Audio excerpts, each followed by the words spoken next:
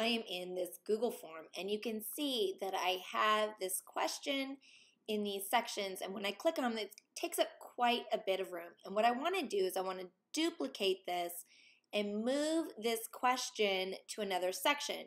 Do you see how this is even bigger than the screen? So as I try to drag it down to this other section, a lot of times I struggle trying to move it up.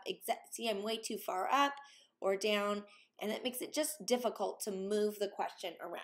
So what I'm going to do is I'm going to hold down the control key, I'm going to hold down the shift key, and I'm going to push J to move it down. So you can see that I'm to I'm holding down control, I'm holding down shift, and I push J and it moves it down. So now it's here in this third section. To go backwards, I'm holding down the control key, the shift key, and I do K to move it up. So you see I can quickly, I'm just pressing K a lot of times and is able to get that all the way up to the top above the question of what is your name.